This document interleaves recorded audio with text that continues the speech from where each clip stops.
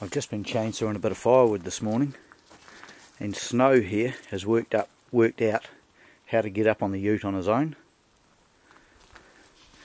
I haven't asked him to get up or anything. He keeps walking to the ute and jumping up on his own because he sees me going to the ute and taking the logs off it.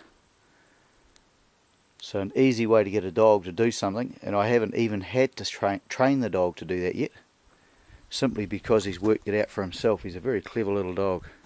All right, Snow? Come here, Snow. Come here, Snow. Good boy, Snow. Jeff. Good boy, Snow. Hey, good boy, Snow. Jeff, up here, Jeff. Jeff, up. Come on, Jeff, up. Good boy. Where's Snow? Up. Come here, Snow. Good boy, Snow. Snow. Good boy, Snow. Come here, Snow. Good boy. Up here, Snow.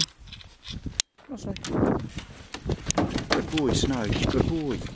There you go. And that's the first time I've asked him to get up on the truck. How easy is that? He's about 18 weeks old. Good boy, Snow. Good boy, Snow. Good boy. Simple.